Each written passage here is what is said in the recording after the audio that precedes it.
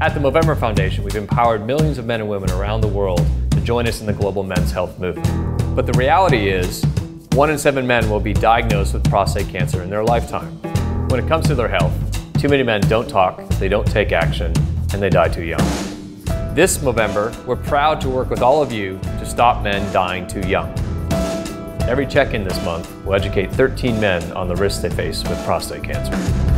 This month, please check in into Causely member locations and join our movement to change the face of men's health. For more information about our work, please go to Movember.com. Thank you for your support.